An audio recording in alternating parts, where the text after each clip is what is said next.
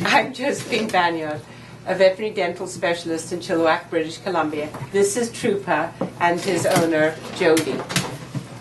I have a series of uh, videos called Dentistry for Pet Owners on YouTube.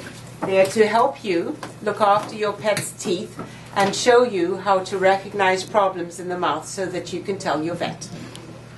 So, Trooper, do you want to help us? Okay. so, what I want you to start doing, if you're not doing this already, is with your pet, start looking at their teeth. All right. Now, Trooper is totally used to this, and you just lift the lip, and see how I'm lifting the lip to show the uh, upper and lower molars and uh, fourth premolar. Um, Trooper's very good. Some dogs won't be quite so good, so make sure that you're careful and you don't get the thing. that's lovely. okay, that's good.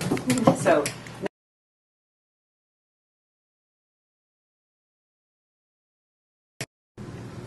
Hello, I'm Josephine Banyard. I'm a veterinary dental specialist in Chilliwack, British Columbia, and I'm here to talk to you about the general anatomy of the head of the dog. This is a plastic dog skull, and the clear plastic represents the bones of the skull, and the white structures are the teeth. There are four jaws in the head of a dog, and this is the upper right, lower right, upper left, lower left jaws. When we talk about the teeth, we start at the midline when we number them, and that's the midline. And this is incisor 1, 2, and 3. This is the upper canine, and the upper four premolars one, two, three, and 4. This is a large tooth. The last four, the fourth premolar is a large tooth. And then you've got the upper molars 1 and 2.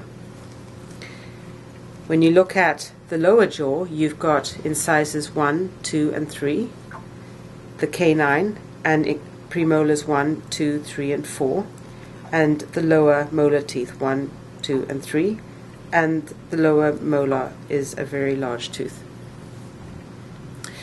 The purposes of the teeth are for the incisors, they are used for grooming, display, and for holding small things. The canine teeth are to catch the prey and to hold them. The premolars are to cut through the meat of the of the uh, prey, and the molar teeth are to crush the food, to chew it. If you look at this model, you can see the surfaces of the crowns the premolars of the top jaw are sharp, and the chewing surface of the molars are nice and flat, so they're really good for chewing.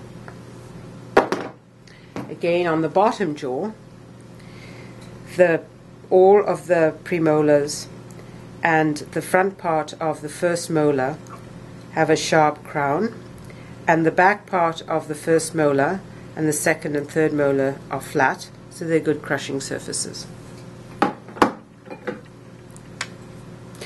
So when you are counting your teeth, you want to make sure that you count the total upper, lower, right, upper, lower, left, and add them all together. And in the adult dog, you should have 42 teeth. I want to point out a couple of things about the teeth. The length of the tooth is very long. What you see in the mouth, which is started about here, starts at the gum line, that's called the crown, and that's about a third of the length of the, the tooth. Two thirds of the total length are actually in the bone. So in the incisors, that's where they end. They're very long. The canine tooth, see where it ends?